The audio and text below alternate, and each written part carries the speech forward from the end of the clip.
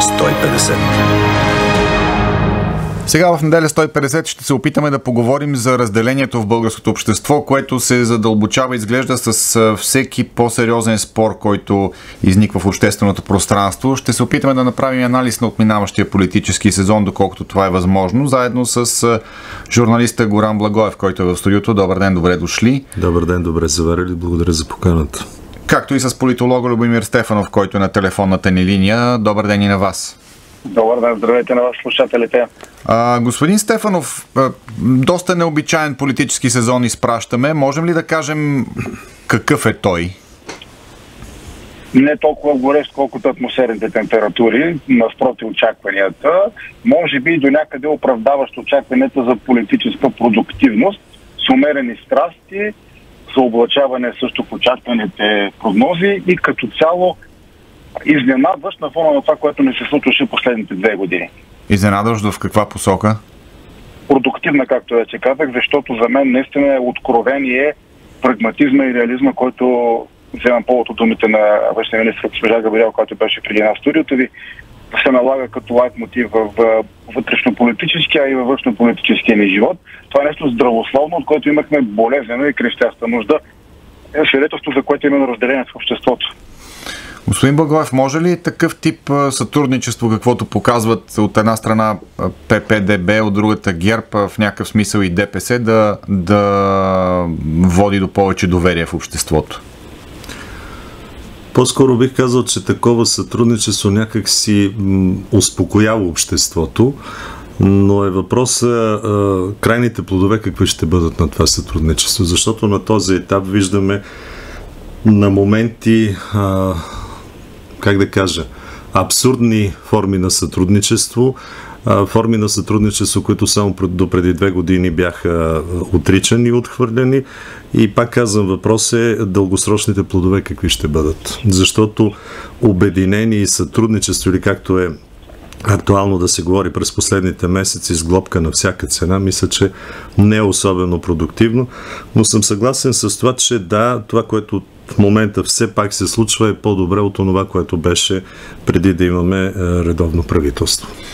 Господин Стефанов, казахте прагматизъм така излъчва мнозинството за този кабинет. До кога обаче може да го излъчва? Може ли това правителство? Преди малко Кирил Петков беше в студиото, като го попитах дали може да изкара 4 години, той каза защо не. Това правителство имам преди да изкара 4 години. Възможно ли е това нещо да се случи? Това би било най-разумната презумпция, между другото, тъй като пак казвам, ние с това ускорено политическо време и играта на, на, на, на сайт нот в шаха, знаете, непрестанно натискане на часовника и рестартиране на хода, се докарахме до там да ни изглежда нещо абсолютно ненормално правителството да изкарат по 4 години мандатите си и парламента да функционира в здравословен режим на работа. Да, не съм чак такъв оптимист като господин Петков, че 4 години са възможни, но казвам защо не. И това, което казва и господин Бългов, абсолютно подкрепен. То зависи именно от работата на тези, които са състава и структурата на управляващата ни коалиция и в нещата, които те правят. Ако си вършат работата прагматично, доколкото е възможно и рационално, нещата ще се случват. Ако сътворяват напрежение и видят от скандал скандал, т.е. влязат по тази спирала на неизказана предизборна кампания, но всъщност на практика такава, нещата много бързо ще отидат към логичния си край. А, как коментирате, господин Стефанов, обвиненията към ППДБ, че до голяма степен са изпрали образа на хора като лидера на ГЕРБ господин Борисов и като депутата от ДПС Делян Пеевски? Този аргумент на мен ми е смешен, защото е продължение на предизборно говорене. Нито един политик не може да реанимира, реабилитира, изпере, избели или хигиенизира друг такъв. Това е дадено само на господавателите, които чрез вота си изразяват доверие или недоверие към дадени публични лица. В случай беше много удобно да се говори обратното. Оказва се очевидно, че в обществото не е имало никога такива настроения. Те са били умело режисирани и модерирани. Дали има основание и причина за тях, възможно е, но не нам е дадено да съдим, както все пак нали, призоваваме за доверие в институциите. Така че смятам, че българските граждани ясно показват кой иска да бъде поне в Народното събрание, кой иска да управлява. Според тях вече е възможно да се случи през такива форми на коалиционност. Да, наистина някои от партньорите в тази коалиция, поне тези от подкрепащите, така да го наречем, визирам ДПС, са неко казано изненадващи и със сигурност недолюбвани, но голямата цел е ремонт на Конституцията, преструктуриране или поне изправяне на механизмите за вземане на решения, така защото да бъдат по-прозрачни, ефективни и ефикасни, очевидно налага някакви политически жертви. Господин Магоев, когато бяхме, станахме свидетели на протестите през 2020 година. Господин Кирил Петков беше тогава на улицата. Имаше негови снимки с един голям плакат. Той тогава призоваваше за дебат заради кражбите на ГЕРБ тогава. Така беше написал. А, сега нещата изглеждат по коренно различен начин. Господин Певски продължава да е част от списъка Магницки. Срещу господин Борисов се водят дела, включително Барселона Гейт. На този фон как изглежда сътрудничеството между тези три формации? Като необходимото зло. До крайна сметка ми до тогава, до когато съда, правораздавателната система в България не си влезе в ролята, ви виждате без да отклонявам отговора на въпроса ви, но виждаме в какво състояние правораздавателната ни система казва се с това нещастно момиче от Стара Загора. Тоест ремонта трябва да продължи, докато в крайна сметка всички от нези, за които има някакви съмнения, бъдат поставени, както се казва, на подсъдимата скамейка и си понесат отговорността. И аз също съм съгласен с господин Стефанов, че в крайна сметка гласоподавателя така е решил. Друг е въпроса на този гласоподавател какво се поднася, дали този гласоподавател, особено електората на една определена партия, не е подложен на определени манипулации, така щото ние да имаме хора от списъка Магницки на първия ред в парламента, но в крайна сметка това са българските абсурди, до които мисля, че всички ние а, имаме заслуга а, по една или друга причина. Защото нека не забравяме, че в парламента имаме представени а, не повече от 30%, 30 няколко процента от а, хората, които имат право на глас. 60% не са представени в този парламент. А, да, ако така, прием... а що се отнася до господин Кирил Петков? И да речем да го отдадем на неговата политическа незрелост, която може би все по-скъпо струва на обществото. Защото след като веднъж си казал А, трябва да кажеш и Б, след като в а, изборната нощ, когато а, Петков и Василев а, заклеймяваха ГЕРБ и казваха никога с тях коалиция, Значи днес това, което се случва, трябва да има много по-реално обяснение, оправдание, ако щете, защото и както се казва, голям зала хъпни, голяма дума не казвай. Тоест, политическата култура на така наречените лидери в ПП, мисля, че не е на онова ниво, на което трябва да бъде. И може би много скоро пък ще бъдем свидетели как ще си платят за това. Сега, една от, едно от предложенията за промени в Конституцията, внесени от ППДБ, ГЕРБ и ДПС, е национален празник да стане 24 май. Сега, съвсем очаквано тази тема предизвика поредната, поредното разделение в обществото, поредните спорове.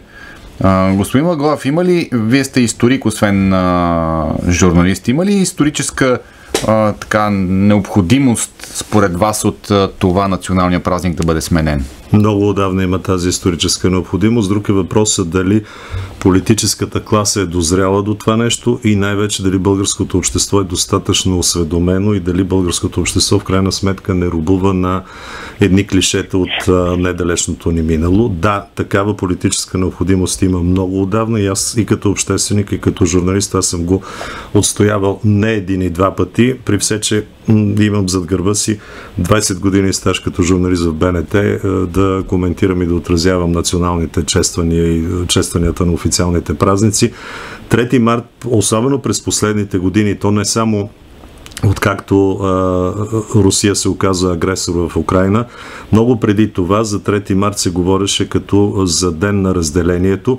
И тук а, искам да внеса едно а, уточнение. А, когато говорим за нов национален празник не значи 3 март да бъде заличен от нашия национален календар. Напротив, той може да си остане като официален празник, така както е бил в третото българско царство. А разделението, пак казвам, идва от неосведомеността на обществото и от хората, които искат това общество да бъде разделено. Това общество по един или друг начин а, непрекъснато се разделя от човека, който по Конституция олицетворява единството на нацията и този човек се нарича Румен Радев. И ще ви дам един много конкретен пример, който е само от вчера, когато се чества 106-та годишна от кончината на генерал Иван Колев. Надявам се на нашите слушатели, няма нужда да обяснявам кой е генерал Колев, макар че с две думи може би е хубаво да се припомни. Герой от Добрич и от Добруджа, който спаси българските земи от безчинствата не само на румънците, но и на казаците, руските казаци.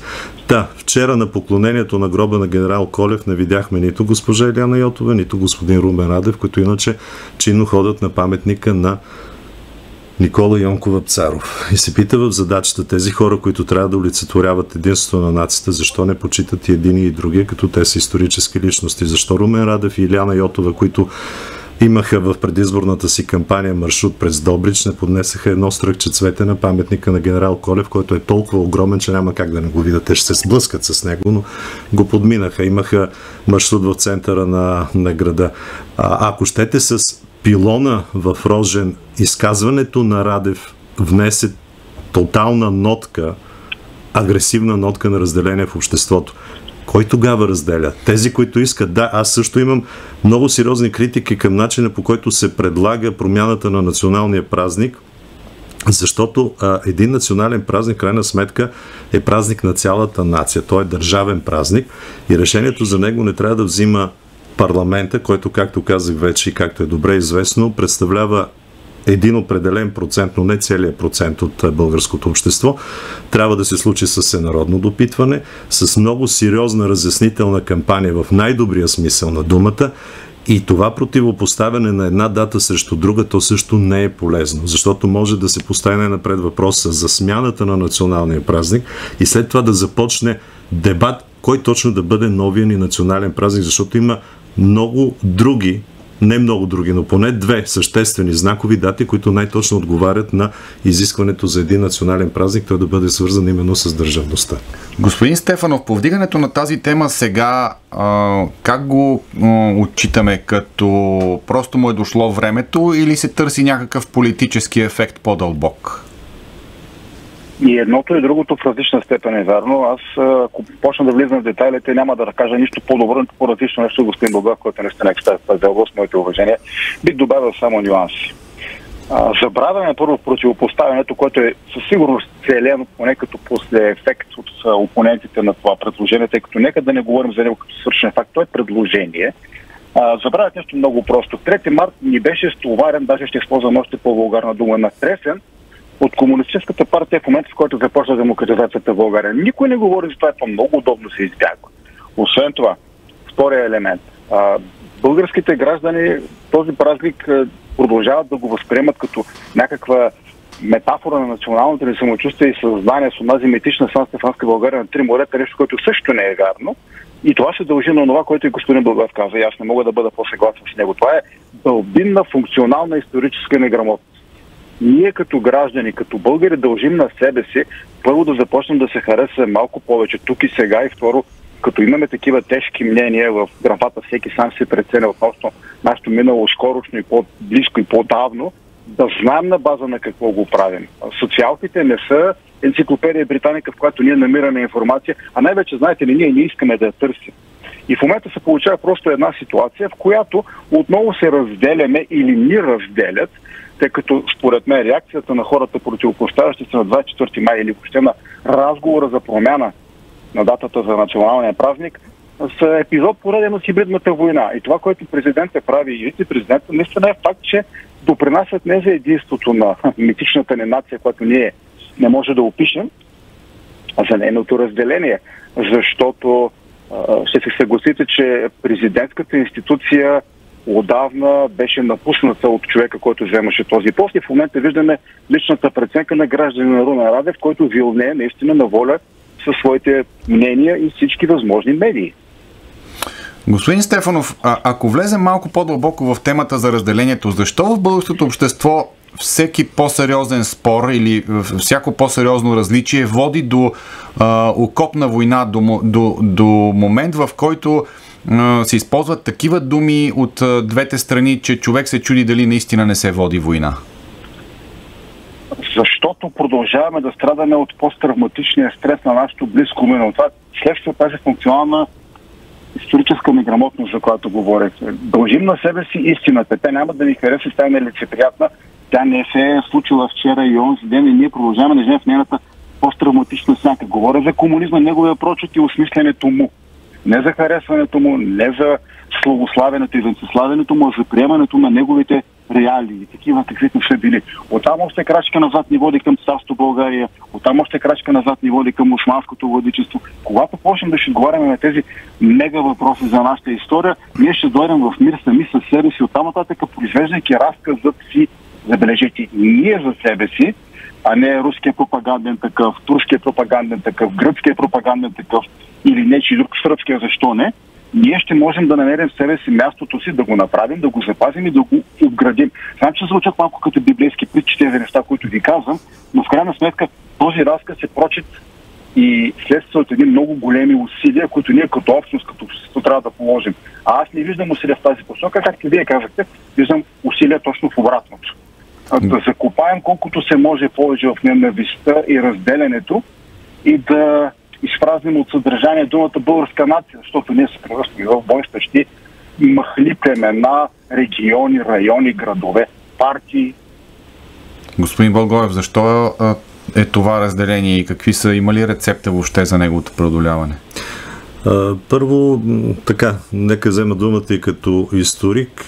Нищо ново, нищо необичайно, нищо, как да кажа, истерично стресиращо няма в това едно общество да е разделено. Ние сме били разделени много пъти от освобождението до сега. И за да не се връщаме назад в а, времената от преди 100 години, да речем, помислете си, слава Богу, сега нямаме преврати, нямаме кървави стълкновения, граждански войни, но 23-та година, ето, само след няколко месеца ще честваме 100 години от а, септемврийския метеж. Това какво е? Това е много по-жестоко разделение, отколкото това разделение, което е сега. Слава Богу. Въпрос е Спомнете си 89-та опита за т.е. връщането на, на имената на българските мюсулмани. Ми пак бяхме разделени. Супер националисти и хора, които искаха да възтържествува по някакъв начин истината. Нищо ново и ако трябва да продължим в духа на Библията и там е казано по-добре да има спорове между вас, за да се ражда истината. Аз смятам, че в един а, интелигентен а, а, диспут нещата наистина ще изкристализират с възможно най-добрите отговори за нацията и за националното единство. А това, че тона е такъв е въпрос на възпитание на политическа култура включително, защото това, което лъха от българския парламент, извинявайте, меко казано, простащина. Вижте как, извинявайте за думата, се кълват интелигентно в английския парламент, на какъв тон спорят дори понякога се опитват и да се обидат, ама се обиждат интелигентно. И при нас каква е простащината? Ние сме еманация на оня бабрит, който си е написал Свобода или смърт и който е накълцал а, момичето с а, макетното нощче с а, 400 шева съм му е причинил. Ето това сме ние в крайна сметка. Това сме ние, казвате. Да, много отношения това сме ние. Харесва ни или не ни харесва, ние трябва наистина да се видим, ние трябва да осъзнаем и големия дебат, според мен, хубаво промените в Конституцията, пак ще кажа, това предложение, особено за националния празник, трябва много, много стрикно да се изговори, много детайлно да се обсъди. Аз самия не съм убеден, че то трябва да бъде като конституционна промяна, имайки предвид, че 90-та година то влиза като промяна в закон, защото може да се създаде един много неприятен прецедент и следващото конституционно мнозинство в следващия български парламент да ни смени друг празник. А, въпрос е, големия въпрос е визионерството на българските политици. Каква нация, какъв национален нов идеал ние трябва да имаме, за да вървим напред след 10, 20, 30, 40, 50 години. Аз такова нещо в политическото говорене не чувам и пак казвам, всичко е въпрос на политическа култура, на политическо възпитание, защото каква е ползата от това, че ще имаме национален празник, когато ние може да нямаме нация след 10, 15, 20 години? Това ще да ви питам във връзка с това, което казвате, че разделение е имало и по-голямо в българското общество. Добре, но може ли такова общество да върви напред в, в, в, времената, в които живеем сега и с темповете, които са необходими, за да наваксваме, защото имаме много да наваксваме, не само економически? Да, и няма как да наваксаме, както каза казал Георги Димитров за 5 или 10 години. Нали? А, вижте, разделение има навсякъде по света, особено в, в, Европа, виждаме и във Франция какво се случва. Нормално е при тази динамика да имат тези разделения. А, нормално е, пак казвам, да има спор. Да, може би в крайна сметка вторачването по а, такива теми не дава нужната енергия да вървим напред, защото а, факт е, че в момента спора за националния празник имам чувството, че измества спор от далеч по-съществени теми. Не казвам, че той не е съществен, не казвам, че той не е важен. Напротив, лично за мен той е изключително важен и даже закъснял този спор, но така или иначе ние имаме много по-важни неща, които трябва да дебатираме като общество, които трябва да се дебатират в а, а, политическото пространство и които за съжаление не се дебатират, защото ако щете тези промени с Конституцията някакси са малко общо взето затрупане на така електорална значимост и на, стабилизиране на електората. Господин Стефанов, може ли общество като нашето да произведе нещо друго, освен такова мнозинство управляващо и то от своя страна може ли да взема важни, необходими стратегически дългосрочни решения? Когато хоризонта е на правителството предварително обявен като година и половина. Да, защото това е етап за нормализиране на политическото общение в Народното събрание. Факт е, че е тревожно, защото само 30%, 31% реално погледнато от нашите съграждани легитимно участват в политическия процес, а останалите също така легитимно се мълчат и гледат сурово с стиснати устни. Но това могат да го променят също тези обичайни заподозрени, за които говорим българските политици, с качеството и с количеството на тяхната работа. Не да правят промени на промени на промените в поредния законопроект, да вършат закони, такива, които да вършат работа. Такива, които да имат хоризонт, както каза господин Българов. Аз съм абсолютно съгласен. Трябва да има хоризонт, а не вторачени тук и сега в някакъв разговор, колкото и важен да е той. Забравяме въобще, че има хоризонт и почваме да се разделяме, да се преброяваме като диви зайци. Постоянно изтееш обрати, останало ли е нещо или не е останало. Политиците имат основна вина за това, защото България няма политическо лидерство. Няма хора, които да, ако щете културно цивилизовано, да спорят за безкрайно важни неща по един изключително цивилизован език и това да се, се отнесе към а, тяхната възможност да усетят настроението сред гражданите, да ги канализират, но също време да приобщат незаинтересованите граждани, да ги въвлекат в политическия процес по един абсолютно цивилизован начин. Виждате безобразията, които се случват в Народното събрание. Те се приемат за норма и за неговите стили. Приемат за начин на поведение, който не само е допустим, ами е императивен едва ли не. Последствие никой не спазва законите, че как да ги спазва, когато народните избраници показват, че от тях няма смисъл. Те са някакви буквички, написани там на някакви листа. Та кълнат се в тази конституция, но тя е проформа. Тези примери са важни. Значи големите разговори, национален празник, ремонт на Конституцията, място, значение, функция на всяка една от властите категорично винаги ще стоят на дневен ред. Това е историческата памет, не го напомня всяко десетилетие. Но в крайна сметка ние като общност нямаме цел, посока и знаете, знаете ли, това, което ме притеснява, аз не усещам център. Че ще се разделяме, ще се разделяме, те първо ни предстои да се разделяме за какво ли не. Но не виждам центъра, при който се връщаме, или центъра, който ни вдъхновява, мотивира ни засила по нови траектории към тези хоризонти, за които говорим. И това отново е задължение на нашите политически демократични представители да участват. Хайде не да го са напълно съдържание, да участват и да водят такъв разговор и да стимулират идеи. Защото демокрацията все пак е съжителство между несъгласни хора по условия. Господин Благоев, да. Ако позволите само да допълня това, което каза господин Стефанов, съгласен съм, но разбира се, а, така, вината не е само в политически елит, вината е във всеки един от нас, който смята, че има някакво обществено присъствие, а, вината е в а, така наречените български интелектуалци, вината е в така наречения университетски елит, а, в хората на културата, защото в крайна сметка тази нация се формира от своя елит. Много често елита или, както каза господин Стефанов, седи с стиснати устни, или се продава. Ето това е големия проблем. Ние нямаме онзи елит, който ако щете наскоро пак ще има 55 години от чешките събития, чехословашки елит в крайна сметка изкара хората на улицата срещу съветските танкове, не друг. Благодаря ви. Горан Благоев, журналист и историк и политолога Любомир Стефанов в неделя 150. Така завършва днешното издание на предаването ни. Редактор беше Марта Младенова, звукорежисьор е Кремена Пръвчева, музикален редактор Ирена Гаделева. Аз съм Явор Стаматов. Напомня, вие ще се чуем отново в неделя 150 през септември.